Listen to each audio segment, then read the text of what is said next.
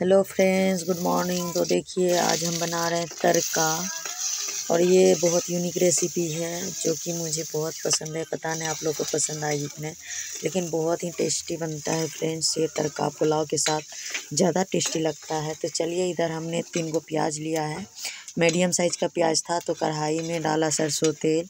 कढ़ाई दीप गया था तो उसके बाद तेल डाल के फिर मैंने डाला प्याज पहले, प्याज से पहले मैंने थोड़ा सा गरम मसाला डाला था, वो मैं नहीं देखा पाई तो उसके लिए सॉरी तो उधर मैंने प्याज को भून लिया दो मिनट के आसपास तो इसमें मेरा सूखा मसाला है, जो कि हम पीस करके नहीं दे रहे हैं फ्रेंड्स सारा सूखा मसाला है तो उसको मैंने पानी दे के घोल लिया, और वही जो प्याज मैंने दिया था, दो मिनट भूना ज़्यादा नहीं क्योंकि तड़का के साथ प्याज का जो स्ट्रक्चर आता है ना फ्रेंड्स तो बहुत ही अच्छा आता है। तो वही मैं प्याज को भून करके मसाला को मिक्स कर लिए।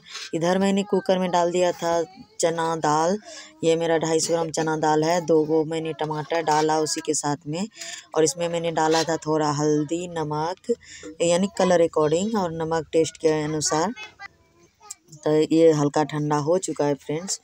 तो चलिए इसको अब हम तड़का लगाने के लिए मसाले को तैयार करते थे इधर मेरा मसाला अभी तैयार नहीं हुआ है फ्रेंड्स। तो देखिए थोड़ा सा अलमारी का मेरा फ़ोटो आ गया था।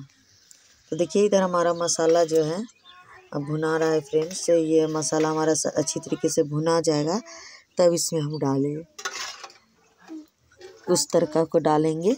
और देखिए फ्रेंड्स, कितना अच्छा घुल गया है हमारा तड़का। इसी तरीके का इसका जो है तड़का लगाने के लिए चना दाल को उबाला जाता है। तो इधर देखिए फ्रेंड्स, हमारा मसाला जो बन के जो है रेडी हो चुका है। तो चलिए इसमें हमने ट्रांसफ़र कर दिया वो तड़का जो मैंने कुकर में पकाया था। तो अब देखिए इसको हम मिक्स कर लेते हैं। तो देखिए फ्रेंड्स, हम मिक्स कर लिए और मेरा जो तड़का बन के रेडी हुआ है। ये देखिए हमारा तड़का कितना टेस्टी ए, दिख रहा है फ्रेंड्स और टेस्टी लगता भी है खाने में। आप चाहे तो गर्म मसाला डाल सकते हैं। इधर हमारा तड़का थोड़ा सा उबाल लगा लिया मैंने दो तीन मिनट। मेरा उबाल लग गया है फ्रेंड्स। तब मेरा तड़का खाने के लिए रेडी है। तो चलिए हम इसको सर्व करके दिखाते हैं फ्रेंड्स। तो चलिए दिखाते हैं आगे। गैस को ऑफ़ कर दिया हमने। चलिए थोड़ा सा ठंडा करके फिर दिखाती हूँ आप लोग को। देखिए फ्रेंड्स, हमारा तड़का कितना थिक बन के रेडी हुआ है।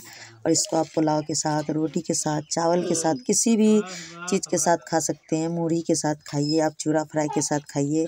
बहुत ही टेस्टी बनता है फ्रेंड्स। और पोहा बना के इसका खा सकते इसके साथ में। तो देखिए हमने तड़का को निकाल लिया है, सब कर लिया। देखिए कितना अच्छा लग रहा है देखने में।